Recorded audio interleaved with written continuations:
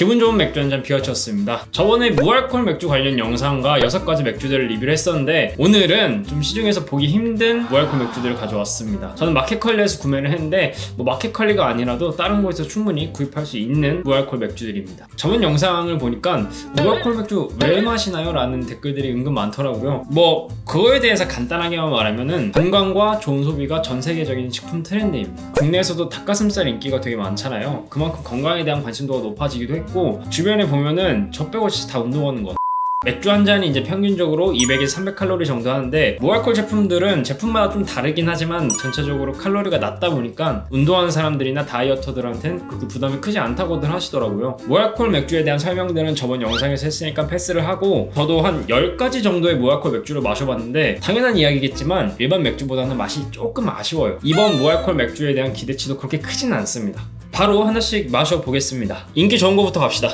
코젤부터 가겠습니다 코젤은 이제 체코 맥주고요. 워낙에 유명해가지고 다들 한 번쯤 맛보셨지 않았을까 싶네요. 일반적인 코젤과는 다르게 약간 색이 옅은 느낌이 있어요. 음, 무알콜드 많이 드셔보신 분들은 알겠지만 그 특유의 냄새들이 있어요. 코젤 맛이 엄청 드러나진 않을 테지만 좀 비슷하게만 났으면 좋겠어요.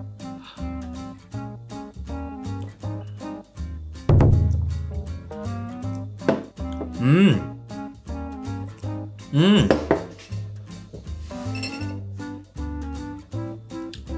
우려했던 것보다 그게 크게 나쁘진 않습니다. 근데 코젤 다크와는 조금 거리가 있어 보이긴 해요. 여전히 콩즙 같은 맛이랑 약간은 건포도 단맛도 느껴져요. 어 근데 나쁘진 않은데요?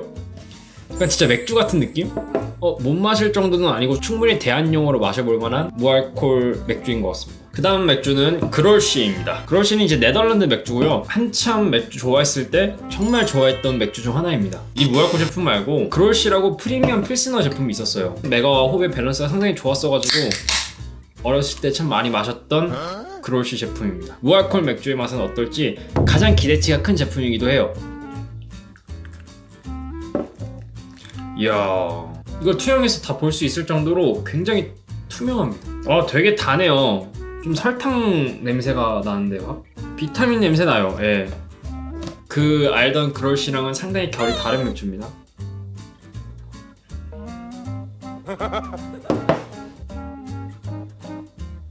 얘는 우리가 흔히 마시던 맥주랑은 되게 다른 느낌이 있어요.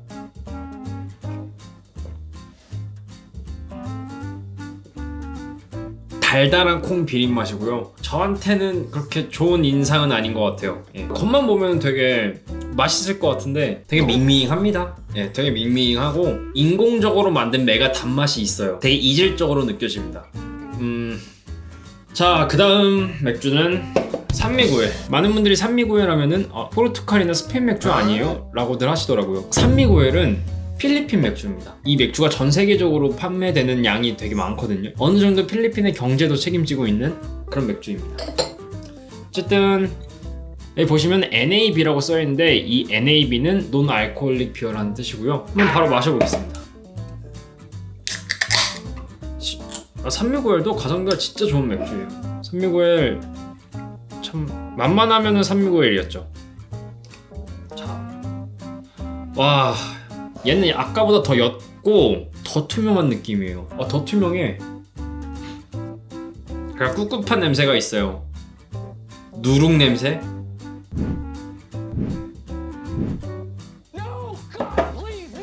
어우 와. 아 근데 이거 되게 익숙한 맛인데? 되게 익숙한 맛인데?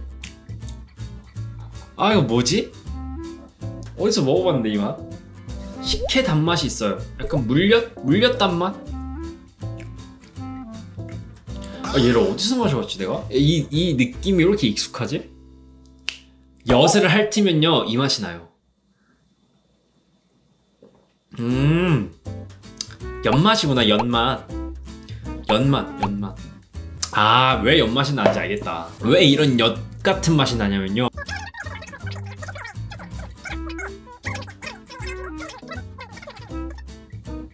근데 되게 강해요 엿을 입안에 가득 담고 있는 느낌? 아우 좋다 하 이렇게 많이 남았냐 그 다음 맥주는 바바리아 맥주입니다. 아마 무알콜 좋아하시는 분들에게는 되게 익숙한 제품일 거예요. 이게 바바리아 무알콜 제품들이 종류별로 많기도 하고 예전에 또 한참 편의점에서 바바리아 8.6 드셔보신 분들도 있을 건데 그 8.6도라고 해서 소맥 마시는 느낌이 좀 났어요. 근데 과연 무알콜 제품은 어떨지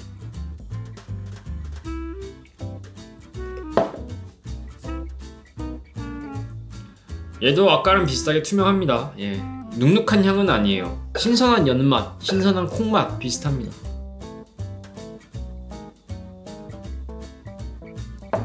음. 얘는 그래도 절제감이라는 걸 갖춘 친구네요. 가볍지만 단맛이 그렇게 강하게 드러나지는 않아요. 어느 정도 메가의 단맛도 느껴지고요. 입안에 남는 거 없이 깔끔하게 떨어져서 좋습니다. 물론 입안에 넣었을 때 그 특유의 맛들은 느껴지지만 좀 깔끔하게 마무리돼서 좋습니다. 음, 괜찮네요. 나쁘지 않은데요. 그 다음 맥주는 사고타 alcohol free입니다. 아 사고타가 뭡니까? 딱 어디 거 같나요? 얘는 베트남 맥주고요. 되게 유명한 제품들이 몇 개가 있어요. 사이공 제품이 제일 유명하고요. 그 다음 바바바. 그리고 남부 지역은 사고타를 좀 많이 마십니다. 호치민 지역에서는 좀 사고타를 많이 마시는 걸로 알고 있는데 베트남 맥주가 진짜 저렴해요. 5, 600원 정도 했던 걸로 기억합니다. 베트남 맥주가 뭐 딱히 맛있지는 않은데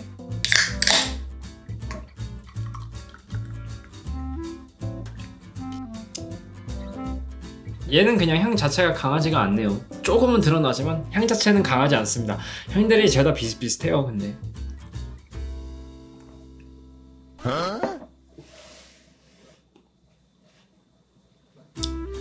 얘도 상당히 가볍습니다. 대신 아까 말씀드린 뭐 물엿이라든지 콩비린 맛이 강하게 남긴 하는데 가벼워서 금방 사라져요. 그래서 견딜 수 있는 맥주? 음, 얘는 견딜 수 있어. 뭔 개소리야! 약간 좀 신맛도 존재하네요. 얘는. 그리고 마지막 맥주죠. 마지막 맥주는 투루츠의 New West IPA. 어우, 사실 얘를 가장 기대했어요.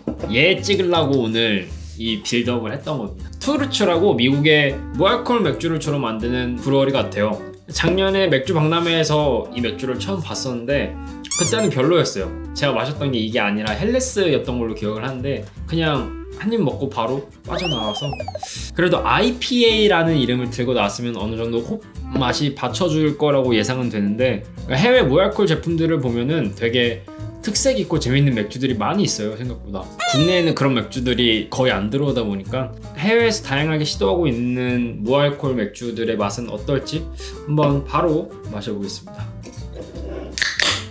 오. 시작부터 아주 힘이 넘치는데? 오 뭐야? 오. 이야 New West면 West Coast를 기반으로 한 IPA 같은데 아까는 되게 다르죠? 탁합니다 색이. 귀리를 넣어가지고 약간 좀 부드럽게 넘어갈 것 같아요. 어. 얘는 좀 호배 향이 좀 올라와주고 있어요. 되게 주시할 것 같아요.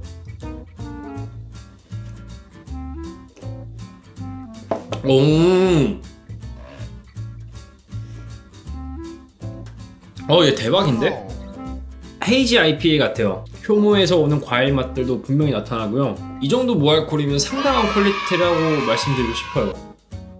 음, 내가 맥주를 정말 좋아해서 다양한 맥주들을 마셔봤는데 갑자기 운동을 하게 되거나 어디 아파서 맥주를 못 마시게 되었다. 알코올을 못 마시게 한다. 그때는 충분히 대안으로 마셔볼 만한 제품인 것 같습니다.